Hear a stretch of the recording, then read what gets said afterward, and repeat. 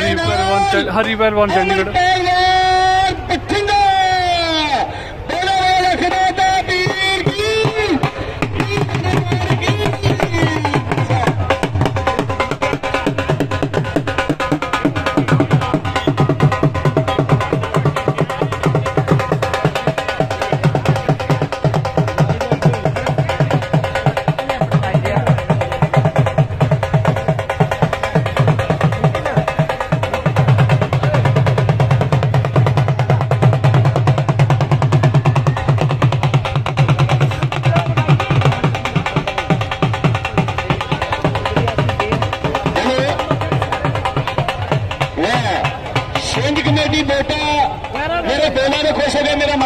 ਬਹੁਤ ਬਹੁਤ ਧੰਨਵਾਦ ਕਿ ਤਾਜੇ ਦੀਆਂ ਦਿੱਤੀਆਂ ਹੋਈਆਂ ਦਾਦਾ ਸਾਡੇ ਵਾਸਤੇ ਲਈਆਂ ਨੇ।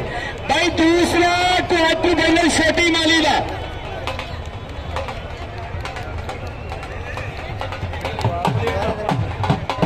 ਭਾਈ ਜੋਬਨ ਅਜਨਾਲਾ ਤੇ ਅੰਕੂ ਪਹਿਲਵਾਨ ਚਮਨੇਰ। ਇਹ ਦੋਨੋਂ ਤਿਆਰ ਨੇ। ਜੋਬਨ ਔਰ ਅੰਕੂ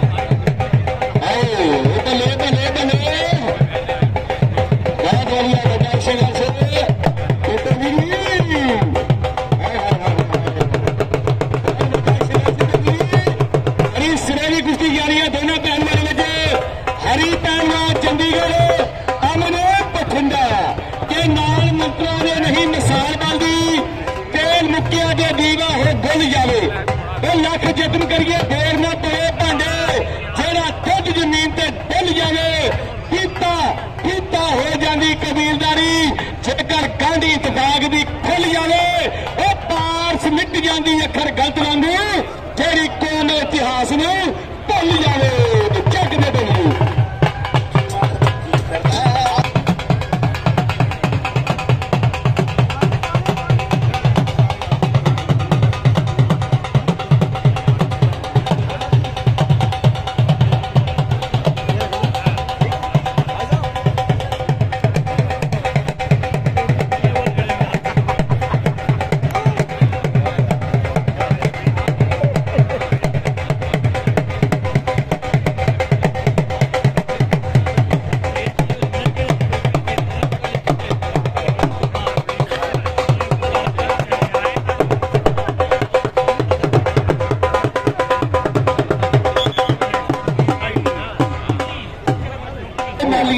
ਮਾਲੀਆਂ ਹੋਣਗੀਆਂ ਇੱਕ ਵੱਡੀ ਮਾਲੀ ਤੇ ਇੱਕ ਹਿਮਾਚਲ ਵਾਲੇ ਪਹਿਲਵਾਨ ਵਾਲੀ